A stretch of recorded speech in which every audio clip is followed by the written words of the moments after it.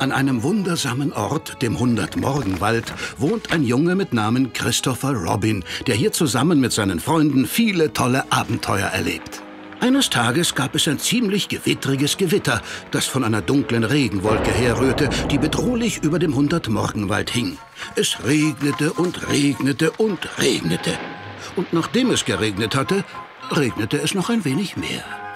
Der Regen, Regen, Regen fiel, es wurde immer schlimmer. Und das Wasser, Wasser, Wasser stieg sogar in Ferkes Zimmer.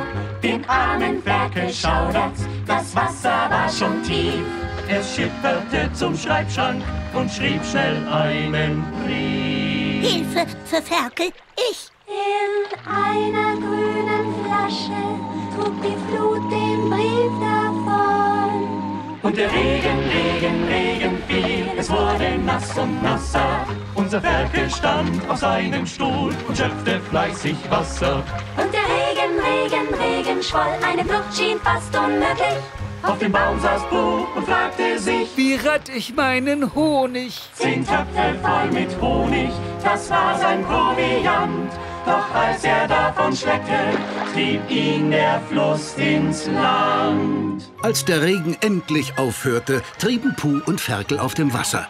Puh schleckte die letzten Tropfen aus einem Honigtopf und konnte nicht sehen, was Ferkel voller Entsetzen erblickte. Puh, da vorne ist ein Platscherfall, ein großer, wilder Wasserfall.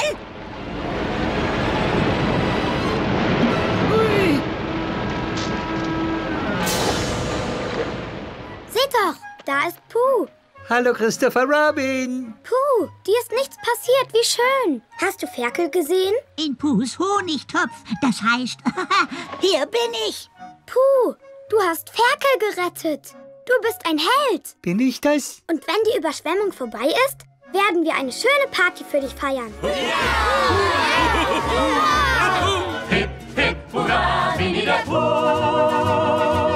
so feierten sie eine fröhliche Party und ließen ihren mutigen Helden hochleben.